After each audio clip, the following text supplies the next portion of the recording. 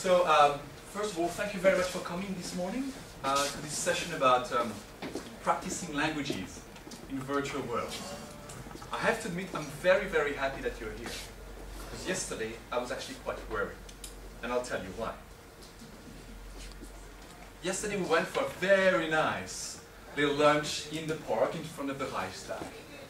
Nice weather, we were having good food, and suddenly, uh, you know, as the lunch was drawing to an end, uh, I asked some of uh, the persons here that I mean not mention actually, and I said to her, hey, which session are you going to tomorrow morning?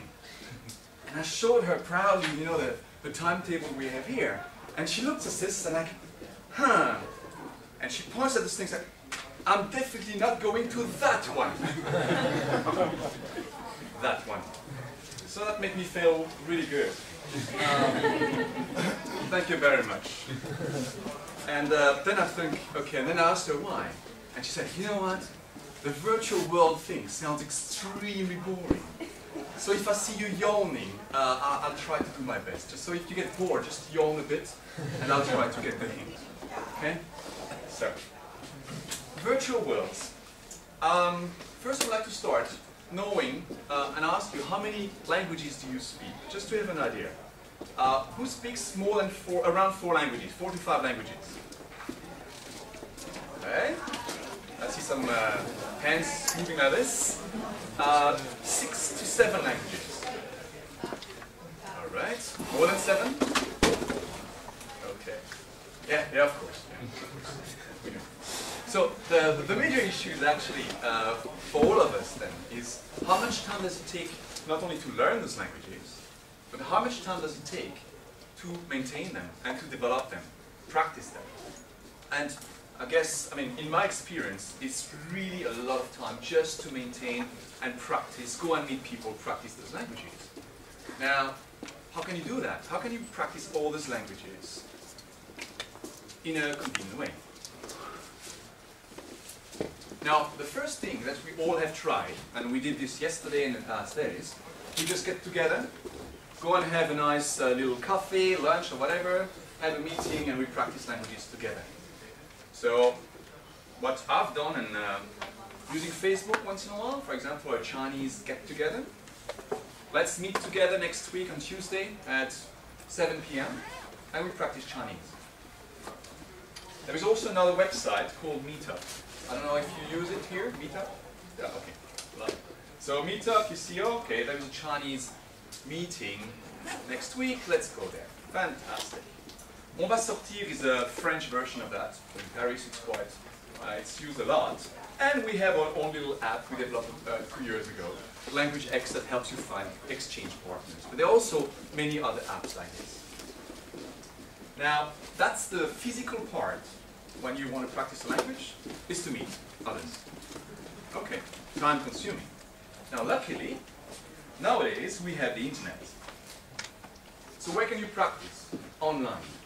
Yes, you see, we have Omni Simon's Omniglot here. Philippe, are you here? Assimil, uh, Blue Blue, of course. So you can practice in a lot of very, very really great uh, website and online. And I've used them, those, those sites, and for, for, for many years by now. And uh, it's really a fantastic experience. Now, for example, great, gives you a great understanding of writing systems, gives you sounds and many other things. But how do you get closer to the physical experience of meeting each other? How do you get to this experience that you go to a cafe and practice the language as we did yesterday evening, for example? How do you do that?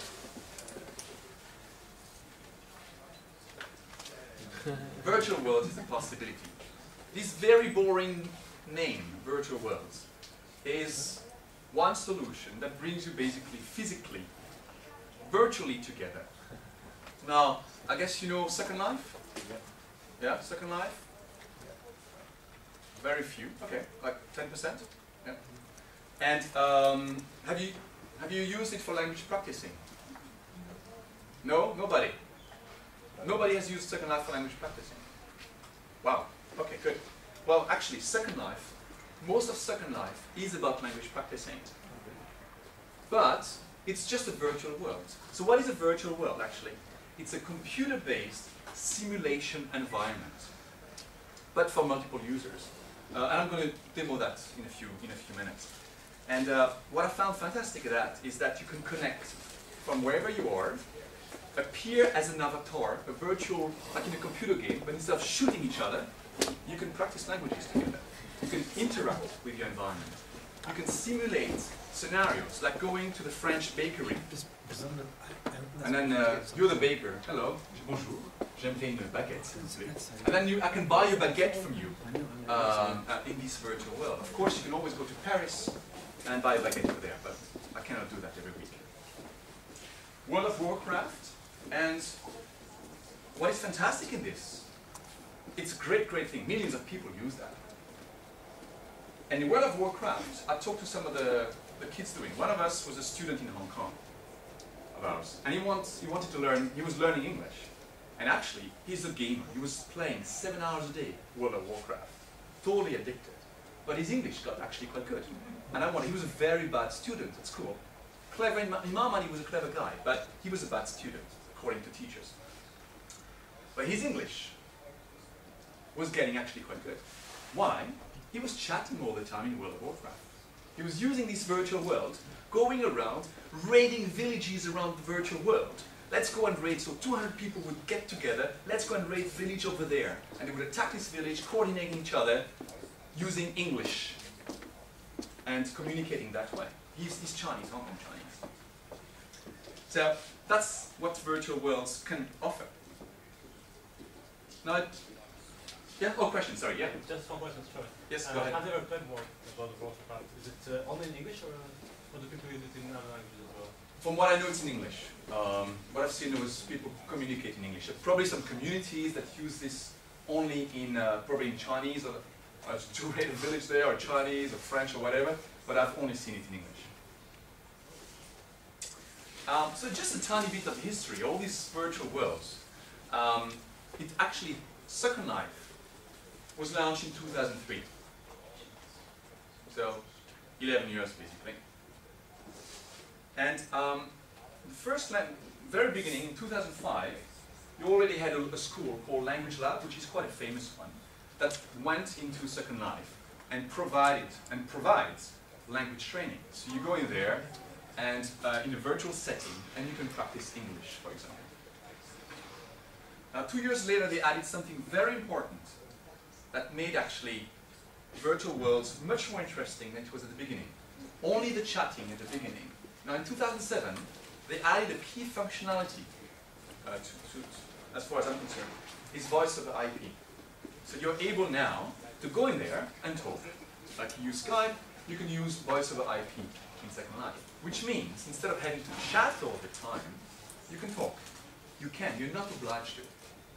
And that's a, a great thing, because you can simulate an environment.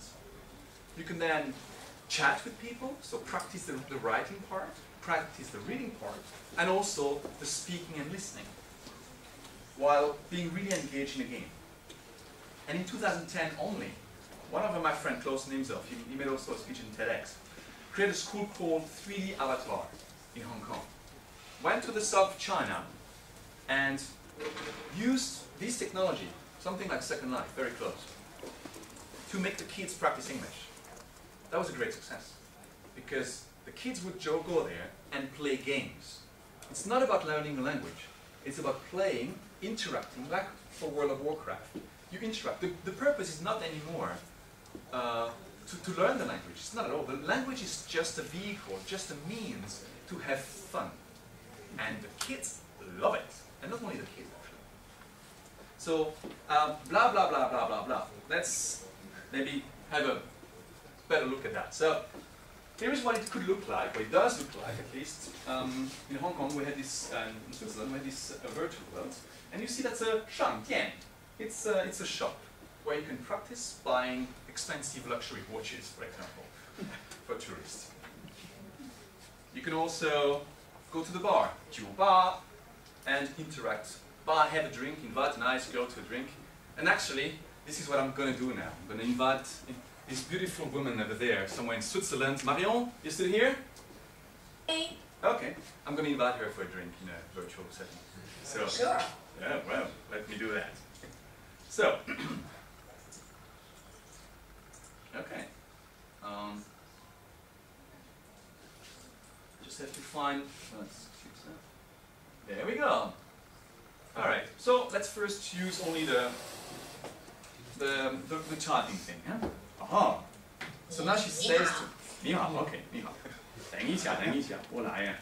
好，没问题。 Okay. So, we're communicating. You say hello to me. Oh, I'll say hello to you. 你好.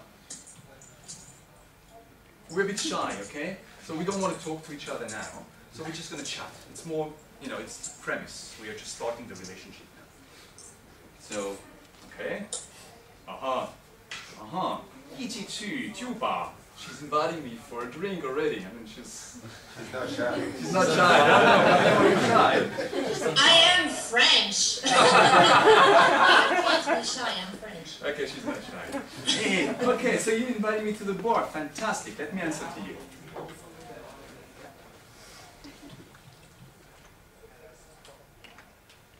好。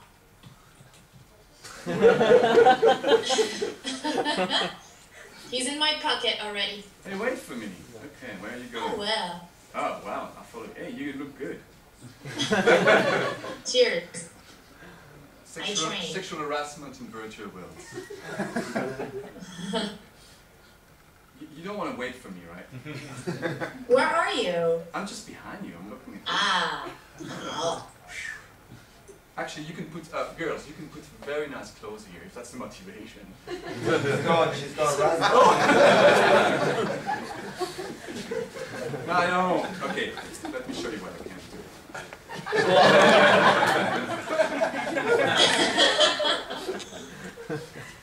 All right, now we're the bar. Stop running. I, I'm not running at all. No, but I had to run after you. You're just too slow for me. Better than too fast. All right. Okay. All right. So we sit here. Okay. Now, there, there we go.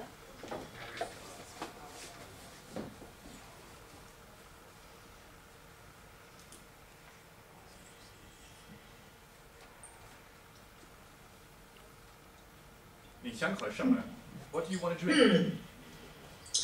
嗯，要喝可乐。可乐. Sounds like color. Okay. And then you can order that. Someone can play. One of you could log in the virtual world, be the waiter, I could be the waiter, and then we all interact that way. Now the cool thing with this kind of system is that you can be two, you can be one, clicking around and interacting, like in a regular online e-learning system.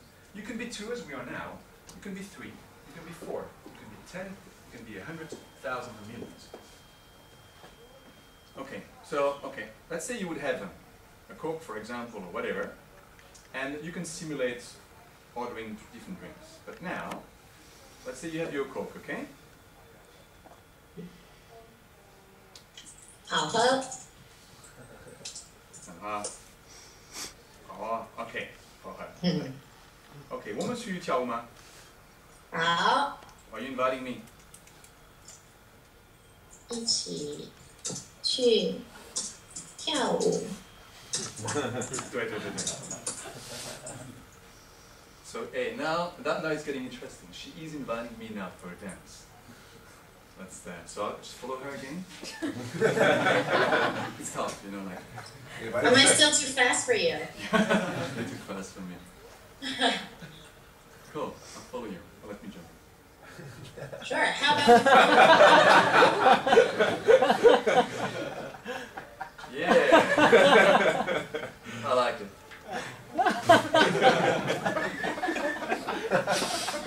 following? Nice. Can you fly in there? Well, what was your question? Sorry. She's gone. Can you She's fly Oh, sorry, sorry, sorry. sorry, so I have to concentrate. Okay, what do you say? Can you dance and fly at the same time? Uh, that's that's the. oh, I, I can Like see a that. ghost. Uh, we cannot, not yet. But we'll we'll think about that. Okay, Marion. Tu vas. Comme ça. 好，啊，你在哪儿？在这儿。我在这儿。对，OK，我看你。All right. Okay. Let me ask you something. Yes.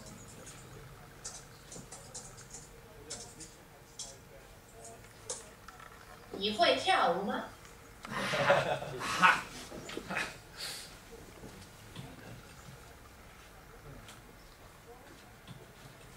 Of course I can dance, baby. 我会 Show 跳。 me. I have to show it to you. Show me. Yeah.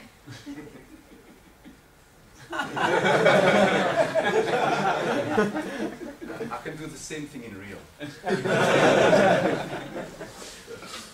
okay. Uh, well, uh, we could go on and on and on. Uh, do you want to show us briefly around maybe the virtual world, Marion? We would follow you. Um, Yeah, sure. Just, um, just so that you see. And um, so let's, we'll follow you and we fly a bit. Fly us around a bit. All right. It's fine. So, um, let's say we want to take a flight together. Yes. What do we do Let's then? go to the airport, maybe. Yeah. Airport is good. You don't need a plane. No, we don't need a plane, that's true. Yeah. but you can simulate buying tickets. Where So- would you like to go? The bank? Oh, the bank. Yes, that's fantastic. Let's go to the bank. Where's the bank? Oh, there we go. She's already gone. Now the cool thing here, if you go to the bank first, you can discover how you say bank. Yinhang in Chinese, but it could be another language. Okay. And for those of you who have uh, LMS e-learning management systems in your big companies or your own little companies, this kind of data can be taken directly from the LMS. So the virtual world here is just a 3D interface that makes it possible to display information. Now, if you display this information as um, just on an app, you know, on a, a little app on your mobile phone, or if you display it in a virtual world like this, it's the same. But here it, it takes the data in Han, pinyin, as well as the Chinese character, and displays it in this virtual interface. So, yeah, that's the bank, and we could be like Marion could be, for example, let's get into the bank right now.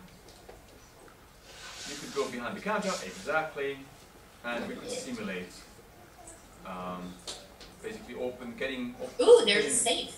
yeah, yeah, yeah. So we could actually simulate having a credit card and something like this. Stop flying. There we go. Okay. So the cool thing here. there we go. Ni hao. Oh, and she's greeting me, so we can I will answer again.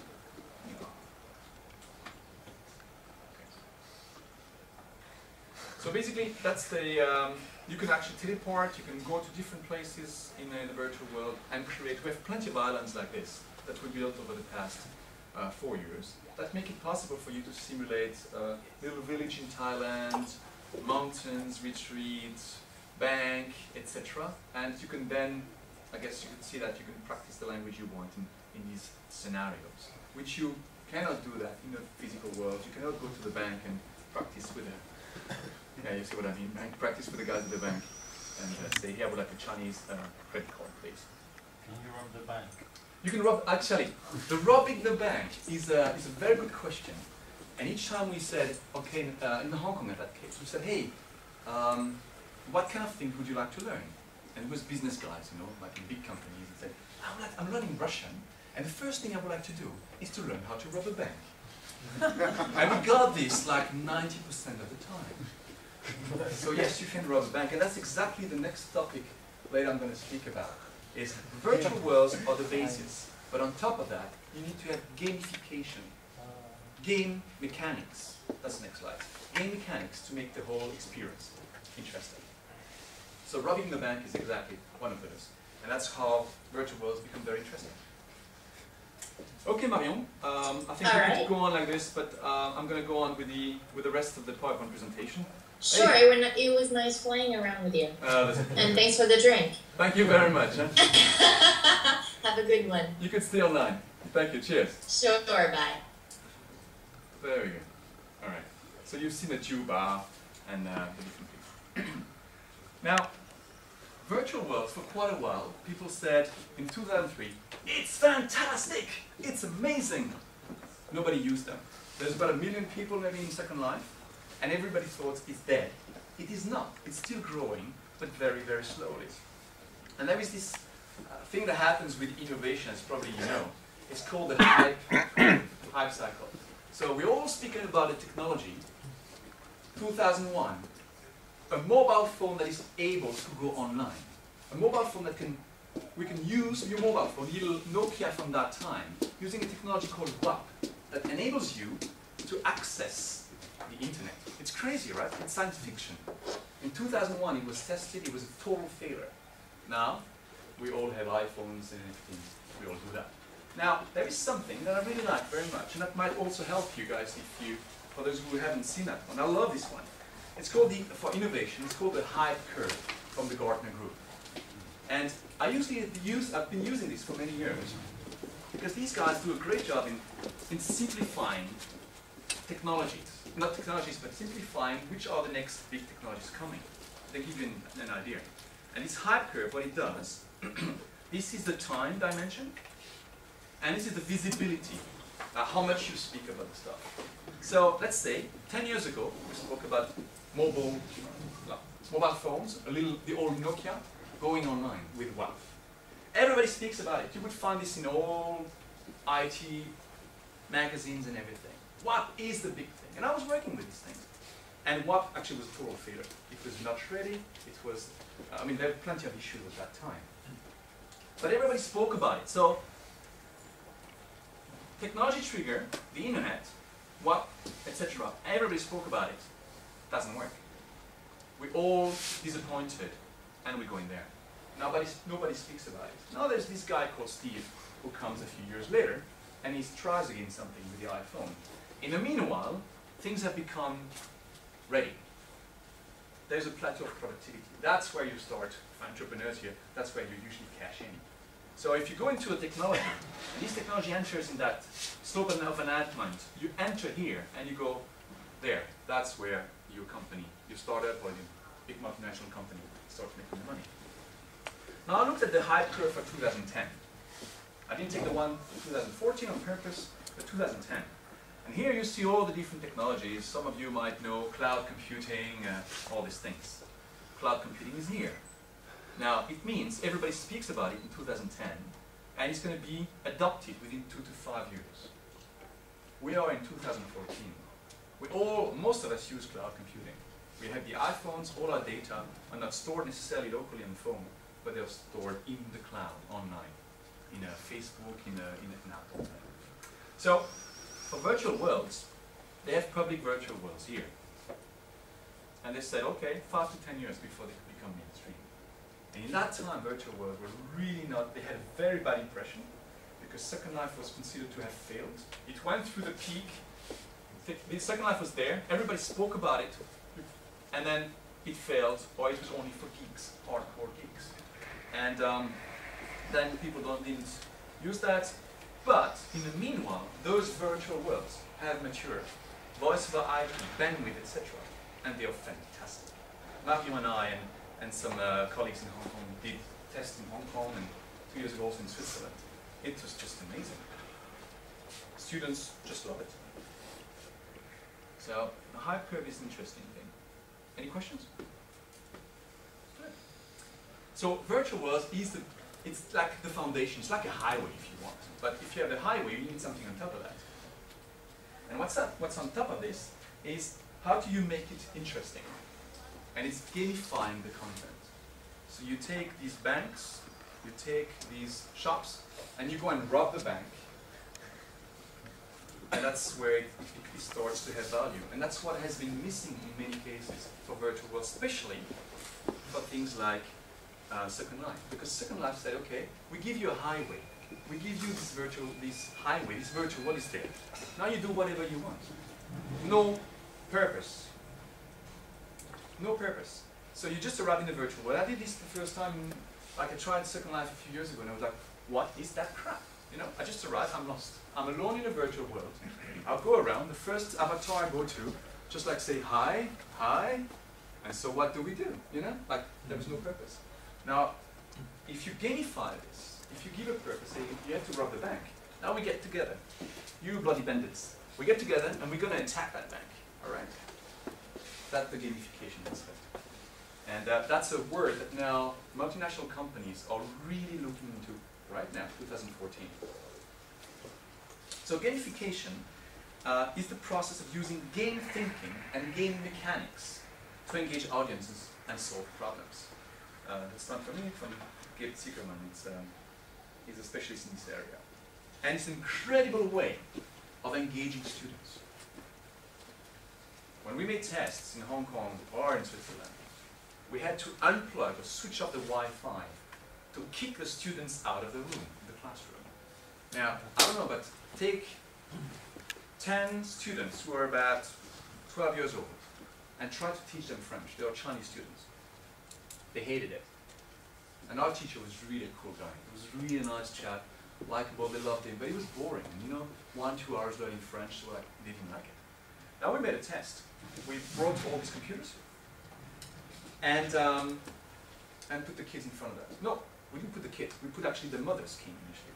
And we had this big table in our center over there, with all the kids around it, their mothers, and the mothers were in front of the computer. And we switched up on the virtual worlds. They were using it, and they were trying it. They were supposed to learn French, practice French, you know? Uh, va à la banque, demande une carte de crédit, something like this. The mothers were trying, trying first to find out how they would move around. It was a total catastrophe. And then you saw these little hands, suddenly. You had the mother here, and you had the, the, the, the kid just next to it. And you saw the little hands, slowly but surely pushing the mother's hands on the side, taking over the control. It was fantastic. It happened all around the table. And he had all the kids slowly taking over, taking over, and they were in power. And then they started using the virtual world. They started chatting, they started speaking, and they started messing up our complete virtual world. Because you can create your own stuff in there. So they started creating buildings, uh, big balls, and putting things together and practicing the language at the same time. We did not believe what we saw. It was just, wow, I didn't believe it, and I still actually when I said that. wow, amazing. So it's a fantastic way to engage students of any age. And we tried this with uh, top managers from big companies in Hong Kong, and they were traveling a lot. And initially they said, ah, you, you know, you virtual world, that's kind of, that's crap stuff, you know. Uh, I don't believe in that. They changed their mind. And that was in spite of all the problems that I'm going to speak about in a few slides. I need some more.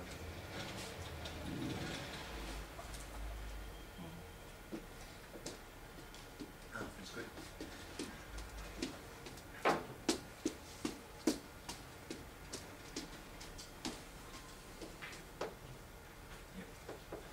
Okay, so that's great, but some of you might, you know, work in companies, big companies, have your own internet uh, companies or your own little companies. so what's in it for you? Well, the good news is the virtual worlds are not just only for faraway geeks that you will never reach. It was the case a few years ago when we started setting up something like this. It was a pain. It was extremely difficult. And there are still quite some difficulties in some areas, but the good news is, if you want, you can set up something like this. It's possible. Um, so you can use different technologies. It can be Second Life, where you go in there, that's a well-established company, and you say, I want to rent an island, and on this island, you can then create what you want. You can create your bank, your language school, uh, you can, if you're a, big company like an Alstom or whatever, you can create your whole trains in this vir- vir- virtual world and simulate your company processes there. Like how do we build, if it's a Mercedes, how do we build a Mercedes? And you can play who's the first one to take all the parts and put them together. it's just an idea like this. So you can use Second Life, where you rent an island in OpenSim, which is an open source project. You download this, this code and put it in the web server, and then you're going to be able to have your own new world. It's a bit complex, to be honest, but it's interesting. Or Unity 3D, which is used for most of the games, many games nowadays. Now the challenge is, get people in a virtual world is really difficult initially, because it's quite difficult to move around when you do it in the computer. And I'll show you what the mitigations are for that. But it's quite difficult to get in the virtual world because you need to use to know how to, to move around. If you're a gamer, a piece of cake. The little hands of the kids there, they were just, I didn't have to explain them anything. They were just moving around. But the mothers were completely lost and thought, this is really crap. It's impossible to use. How do you move forward? How do you go back? How do you speak? How do you chat? How do you... No, it was too complex. So we had to look for a solution for that. But virtual world, once you get people in the virtual world with those technologies, and once they know how to use it, it's just amazing. Um, so the opportunities are great because you can do things you would never do if you are a trainer, like language teachers, any language teachers here? You're language teachers or if you are management train trainers, you know, you can really create things that you cannot do in a, in a, in a physical classroom. And you can let your, your creativity go as far as you want. We created a big cheeseburger in the air where you can, yeah, I know. we create a big cheeseburger flying somewhere in the sky where you can go and have, uh, with chairs and sofas, where you can just sit around and, and discuss and interact. Sounds crazy? It is. It's a lot of fun. Because then start people start expanding, thinking about things they would never think otherwise. Your limitation is your, what is your creativity, not the technology. So, and it's not about only the third point here, it's not only about technology, actually it's not. It's about really, what I said, your imagination. How much, what's in here, what can you do, what to make your students really want to learn and to help people practice languages. And the cool thing with this, for me, the virtual world was not just a project for others, but it was for me. Was a need. When you are, like here, a polyglot, I want to practice today Danish. Tomorrow I want to practice Mandarin Chinese. Next day I want to practice Russian. Schweizerdeutsch, Alsatian, French, Italian, Portuguese, whatever you want. Or maybe that tiny little language I've never heard of. And I would be interested in being able, and I saw that on, on Omniglot and say, hey, come on, I want to try this little thing. Where do I do this, right? I can hear recordings, now I want to interact with people. And we are scattered around the world. You can create communities online and interact and speak with them as you could see before. So for a polyglot, I mean, for me, it's a great way of practicing those languages. And if I'm shy, so I can just hide behind my avatar. You don't know what I look like, and I can just, you know, interact with the people. And when I feel more comfortable, I'll be able to use voice. When I feel more comfortable, I can maybe use Skype or whatever. So I have a different tools for different purposes that make me, until I've reached my confidence, that I can interact physically. That's the need. Actually, yeah, um, it's a bit earlier than expected, but I, I'm not going to make it drag on. So I would just say one thing. If you have questions, you're welcome. But um, thank you for your, your, your attention. 辛苦了这招. And uh, if you want to, to contact me, that's, feel free to send me an email at, uh, at these emails. Uh, it goes to the same thing. Uh, Bilingual is just uh, the old, the new, the name we created a while ago for global citizens. Same thing. And um, I'll just do a bit of short advertising. There's this little app we created a long while ago, Language X, to help you meet language partners.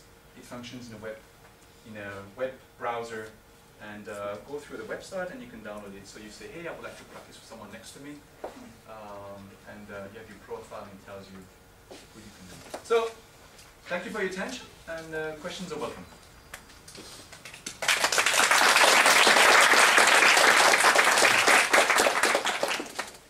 Question, yes?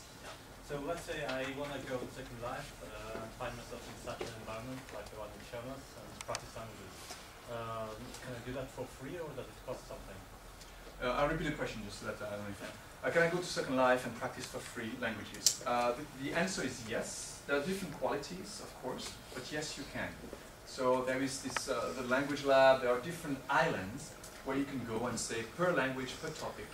Um, and some of them you have to pay, of course, or you know, you have first year interact for free and then you can have more. But yes, you can. Uh, and you can actually, if you want, you can go in Second Life, tell other uh, from us, hey, I want to practice that language with you. Let's meet on that day. And uh, yeah.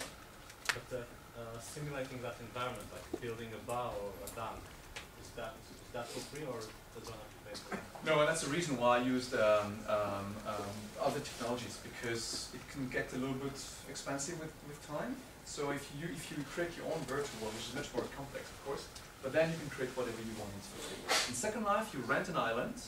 Then for each object, you're gonna like um, each object you're going to to import, create in that virtual world. you will have to pay a little something. It's not a fortune, but you can add up uh, to this thing. And you know, never know how long the platform stays. So I like to have my own stuff, and then, but if you want concretely, you can quite easily rent a little island, create a few cubes, I could show that later to you if you want, create a few cubes that look like a house after a while, put some, you know, some nice colors on the walls, and you have your school uh, quite fast. At a low, and no, no IT skills really needed. Uh, yeah, Richard? I'm just wondering um, how easy it would be to recreate the same type of thing using a, a Google um, Street View so that you can actually have a real city where you're intending to go. So I think I'd find that really useful if I was looking for the bank and I wanted to go, let's say I want to go and live in Tbilisi or I want to go and spend a month there. And if I actually see the real city and how it's set out, so when I go there it's not so alien to me. Yeah, good question. So can you use basically Google Street View uh, and implement this in such a virtual world? Uh, we, we thought about something like this. Um, there's probably a way, but I think technically uh, to interact with this kind of virtual world, I would expect, uh, we we haven't tried that, that it could be quite uh, tricky uh, to re- reproduce it. But I'm sure it's doable. But we haven't done it. I've seen some experimentation with uh, card games now. That Yeah. use like uh, real cities from uh, Google like uh, Maps, but I haven't seen this kind of uh, yeah, world. Because the interface, interfacing this, and there is also one thing with the virtual world. Like, uh, it consumes, I was actually worried that the Wi-Fi would let us down this morning. So if you have something that goes, wrong, it consumes quite a lot of, there's quite a lot of traffic on this. So if you need a high quality, it's a bit difficult to, to reproduce it um, in, in a seamless way. And one of the, the, the issues we had, I had initially with the virtual world, I thought, my God, that's ugly the kids we had were coming in here, and that looks and say that's like our website. I don't know that. it's like uh, it looks like from the 80s. And the first time we showed that to students, I felt ashamed. I really felt ashamed. Like, my God, these kids are going to tear it apart. And you know what? Not at all. Actually, they play World of Warcraft. They like they chat. They don't even need voice over IP. And World of Warcraft, the graphics are, yeah, it's like a Tetris in a way. But they don't care because what they focus on is really the game mechanics. You get involved in what you're doing, the interaction with other people, the, the purpose you're trying to, to reach, and not in it looks. The look is the first five minutes, like for your girlfriend, boyfriend. Uh, it, it's the, the important thing is really the, the interaction with it. So, uh, the look is not the key aspect in many cases. What do you think is the um, like uh, one thing like robbing the bank is uh, let's say gamification for a group, but for myself like uh, in terms of uh, motivation in learning language, what kind of gamification like you know numbers? Do you have any idea about? Uh, do you use any number? What kind of feedback do I get from the virtual world that I'm improving? We did some tests for the. We asked feedback from students. Um, when at some point we had voice over IP, big issues with voice over IP, didn't work. Some scenarios were buggy, etc. And we asked the students at the end of the sessions, "What do you think?" They loved it. We have all the papers, etc. They just like it's fantastic. It was really uh, so the interaction, even with a very minimal set of gamification on top of that, the interactions, people would create their own thing, and it was they, they, they just got it.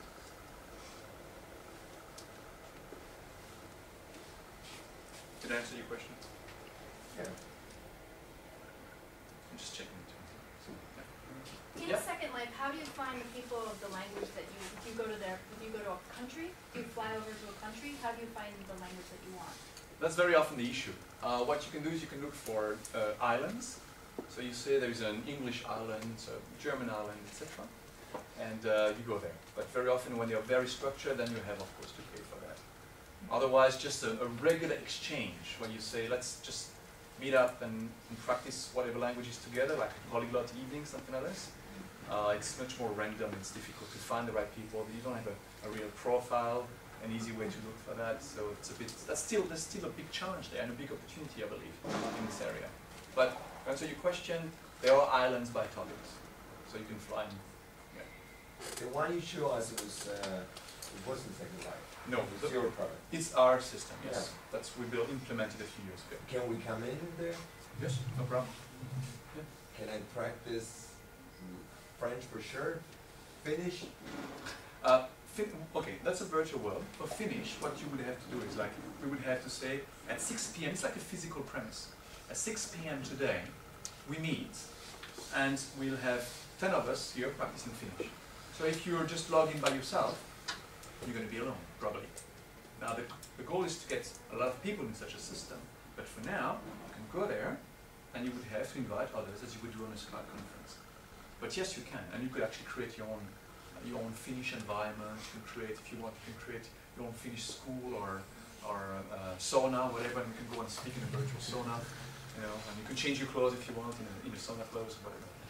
Yeah, because that will work, like Richard was saying, you know, if you can kind of uh, approximate to what fin Finland looks like, you know, you will have uh, alcohol, sauna, Yes. and reindeers, and forests, and lakes, and some church, and somebody on the street drunk.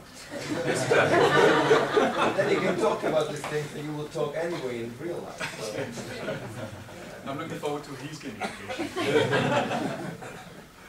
They're We have- happy in the back. They don't, they're honest. They don't do Yeah, it. yes, yeah, yeah, yeah. But that's exactly the spirit. Yes? Um, this isn't a question, it's just kind of build on what you're saying. So with this kind of community that we have sitting here, we could organize like some kind of evenings to keep in touch with each other, to practice languages with each other, to get more people involved as opposed to just a message board or a blog. Oh, clearly, yeah. yeah, yeah. I'll tell you what, we should make a conference on your virtual world. we should recreate this hostel, with- even with the rooms, and then have the, you know, the flirting, the discussion. The Italian guy. Flirting number one. And I want to be with Ruslan again in the room, I really like my roommates. Yeah, like, Yeah, and you can. and, and that path to the bar should be open all the time. yes, we changed it, you know, virtual world always open, we can make noises and. Yeah. But actually, one, one, one uh, more serious thing is, a few years ago, what happened, four years ago, there was a, typh- a, a big typhoon, I think, in Taiwan or something. And um, I don't know if you're still here, maybe you, you know about that. But there was, um, uh, there, there was a big, the internet basically was shut for, for Taiwan. That was a big issue. And there was a big, I worked in reinsurance before. And um, that was a big issue because there all these reinsurers, I mean insurance, insurance companies, extremely exciting, uh, um, uh, world. And what they did is they had this conference that was supposed to take place in Taiwan.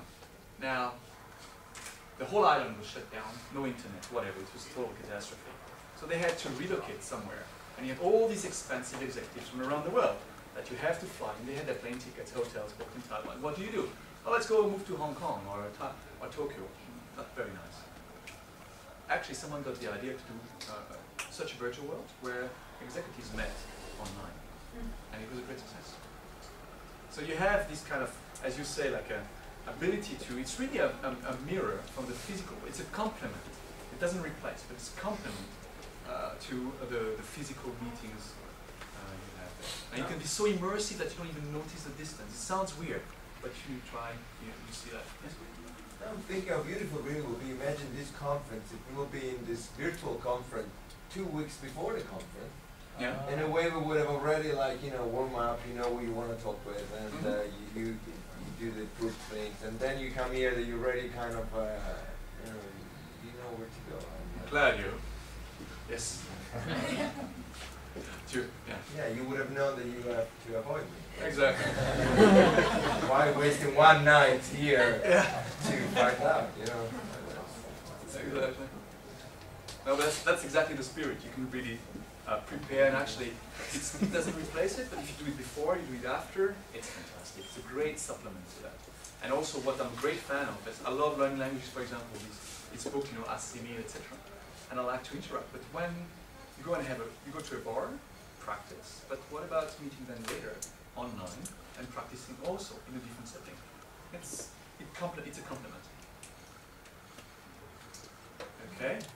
Oh, yes, go ahead. Yeah, um, maybe let's talk a bit about the motivation. What is the motivation? How can I get a native to be to stay on my island if I, let's say, I'm learning Chinese? Yes. Why should a Chinese go I stay on my island and uh, just um, talk to a non-native? You know, like, and if we all are non-natives and stay in one uh, island, what's the reason and the point? So to talk to people who don't speak language appropriately. Okay, that's a very good point, and I would link actually to the. Two seconds. To this thing, this little app, you know, for language exchange, uh, for. Uh, what, I heard that in some of the sessions, you know, when you, there was some one of you said, oh yeah, I learned Swedish, but I had to fight because, you know, to impose myself to practice Swedish when I was in Sweden, everybody would speak English to me. And that's an issue I had with Danish, for example. I was in Denmark, and nobody wanted to speak Danish with me because I mean, they didn't speak English, German, uh, uh, French, so I had to say I was from Greek, from, from Greece. And they would say, oh, so we have to speak Danish. It's the only language I can. Um, so, uh, and to do this, basically, what I've done very often with languages, a small technique is, when I'm at the level A1, A2, maybe B1, very often I prefer, I prefer to practice with a non-native. Like for Chinese, for Danish, etc., I start, once I've read my Assimil book, once I've done, I've read the book, or uh, Teach Yourself, uh, I go for, for this kind of practice. So the motivation is initially from A1, A2 to B1 level, I would interact with anybody who's even not native. Doesn't matter. Now the so we would just meet like this and practice the language. It's even better for me. Once you start having this B1, B2 level, and upwards, you want to have an, uh, a native probably. Uh, and uh, in that case, there are two motivations. The first one, it's anybody can go there, so non-native. And the second for natives, it's financial reward. So if you say, I want a native, and we had that, we had some French teachers that we paid to be in the virtual world. So there are two models. One, it's just a community, we just meet over there and interact for free. The second, you say, I want a French teacher because I want quality, or a Chinese teacher. Then you have to pay. And that's the islands uh, we were mentioning about, where you just, you have real teachers, and but there, there's a financial. But I'm thinking, you know, what if I come to the world and I go to the Italian island where I, you know, I can actually be the native in there and I get credit. The more time I spend in the Italian island, I get credit then to spend in the Finnish island and pay by the beers and the sauna and whatever. So kind of, I really I have an interest now to go there just to get credit to then being a practicing island. That's a very, very good point, actually. But then now we're getting, that's really the gamification aspect. When you get the credit, that's a brilliant thing. And it's actually an even bigger reward than money. So there was a, if you see the, the talk I indicated before somewhere, um, yeah, that guy, um, uh, Gabe Zichermann, uh, he was actually speaking about credit. You only, you give money only when your reward system is not good enough. So if you are good enough, you can give someone a status. We all function by status. Look at the nice bag I have, or the nice clothes, or whatever, the nice t-shirt. Uh, so if you have a good reward system and you have a, a strong reputation, then you can do these kind of things. If you don't, then you have to compensate people not by status, but by money. But that's second best, the money aspect. He was speaking in TEDx in uh, Vilnius, I was there. It Oh, really? an amazing, amazing talk like that. Yeah. Yeah, very, very interesting. Yeah, I found his videos extremely good. Yeah, please, go ahead. I would actually like to add an idea, not completely related to what you were presenting, but uh, also something uh, in regard to playing in a virtual world. So I don't know if any one of you uh, heard about role-playing games.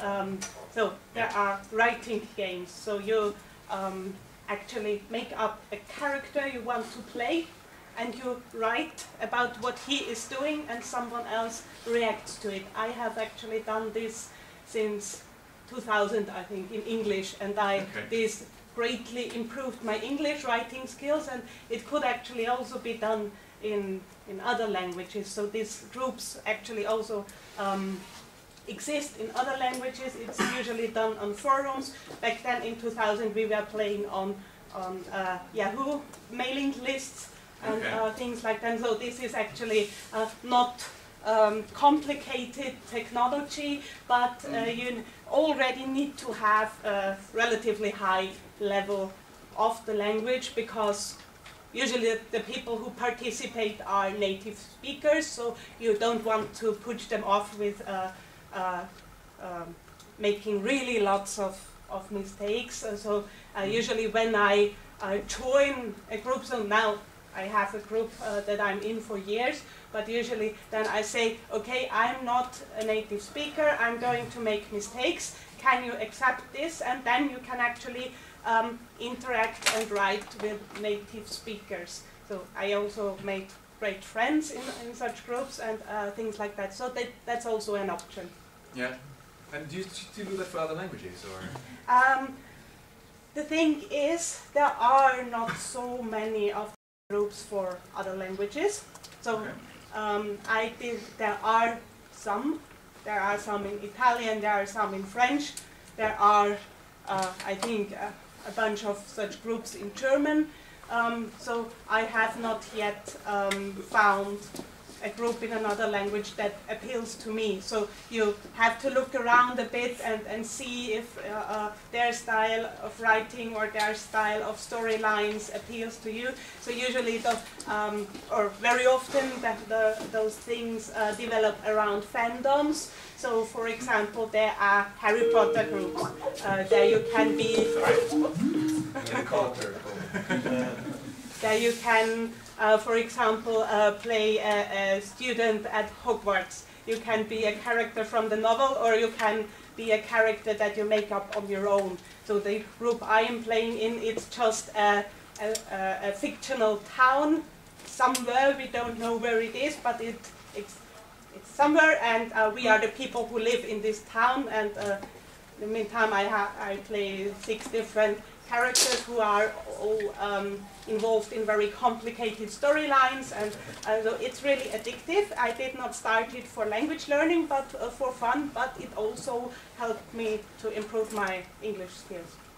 Yeah, and I think it's uh, uh, it, it, it is really addictive, as you said. Yeah. Sorry. Yeah, I wanted, I wanted to comment on that. Uh, the idea is brilliant. I work uh, in a project uh, sponsored by the municipality of Oslo, and we work with uh, uh, foreigners, uh, immigrants, refugees, and we help them to practice Norwegian. So uh, we offer free uh, Norwegian practice. And what we do, we, we do it like in real life. And one of the things we do is that we, we say let's, like I don't know, create a person, because those people often they're you know they come from uh, some conflict zones, and it's extremely hard for them to adapt to new life, new country, new language. They're scared, they're closed, they don't want to talk. You know, the, to learn a new language is the last thing people think about, and that's one aspect. The other aspect is that people are extremely afraid of making mistakes. Yeah. Like even though you want to speak, you want to learn it, you want to communicate, still like you know, when you create another person, it's not you anymore. You say I'm someone else. You're a girl. You say yeah, but I create a guy, and then you know by taking the role of someone else, you just forget that you're you and you relax. And we, we have seen it work, so it really works, and it makes people speak, and it's yeah, it's fantastic. Uh, it's usually the opposite. It's usually a guy trying to play a girl. Yeah, but I mean. I've done Of course. that. I learned HTML that way. I was in a forum, nobody wanted to talk with me. I entered not like Claudio, but like Claudia. Everybody. I learned HTML in 30 days. And I built a career out of that. That was just, it works. Cool. All right. Use these insights. Okay. Thank you, Claudia. And I got a boy. Alright, I think it's uh, we have two minutes left. If you have any other question, otherwise we'll have to. Uh, I love this. Why I'm not in this virtual world to practice languages? Why I'm in this uh, uh, part of the group you mentioned? It's so hard to get in, but once you're in there, Yeah. why I'm still waiting to go there? Why I'm not there? It's a very, very good point. And um, there's, there are two reasons to, the, uh, to this. The first one is it's extremely troublesome to get in these bloody virtual worlds the way they are now. Downloading this, uh, we, we tried this for several years. Downloading the viewer, getting your account in there, knowing how to move, it's, you're going to say it's easy, but we don't like to download it. People told me that. Do you want me to download something? 50 megabytes? Install it? Click three times and say yes? And it's okay? No. No, it has to be ready now. And that's why there are different technologies now that we, are, we that are that make it possible to run it from this. And the only thing you do on from an iPad, switch on, you're in the virtual world. And that's why these things, I would bet, it's going to take off. Virtual worlds are going to take off, but they needed to have this breakthrough in technology. which was the easiness of a mobile phone, where just even a cat can play with your little thing, your, your iPad. And that's what you needed. But virtual worlds on computers are a pain. I love them, but they are they're not. That's why. And that's why most of us have not tried virtual worlds before, because technology is just for geeks. Real geeks. I think uh, we're there. Thank you very much for coming. As I said, I was very well.